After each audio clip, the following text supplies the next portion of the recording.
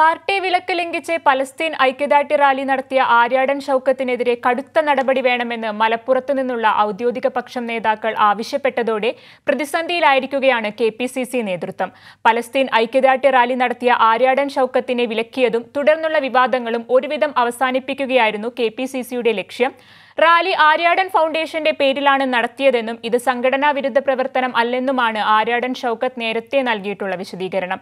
ഈ വിശദീകരണത്തിൽ ഊന്നി ഇരു കൂട്ടർക്കും പരുക്കില്ലാത്ത പരുക്കില്ലാതെ വിഷയം അവസാനിപ്പിക്കാനായിരുന്നു ധാരണ. പക്ഷേ കടുത്ത നടപടി വേണമെന്ന് മലപ്പുറത്തു നിന്നുള്ള ഔദ്യോഗിക പക്ഷം നേതാക്കൾ ആവശ്യപ്പെട്ടതോടെ അച്ചടക്ക സമിതി ചെയർമാൻ തിരുവഞ്ചൂർ രാധാകൃഷ്ണന്റെ അനുനയ തന്ത്രങ്ങൾ പൊളിഞ്ഞു. അതിനാൽ അച്ചടക്ക സമിതി അടുത്ത ആഴ്ച വീണ്ടും യോഗം ചേരും. ഇതിനിടയിൽ ഇരുവിഭാഗവും തമ്മിലുള്ള തർക്കം പരിഹരിക്കാനാകുമെന്നാണ് നേതൃത്വത്തിന്റെ പ്രതീക്ഷ.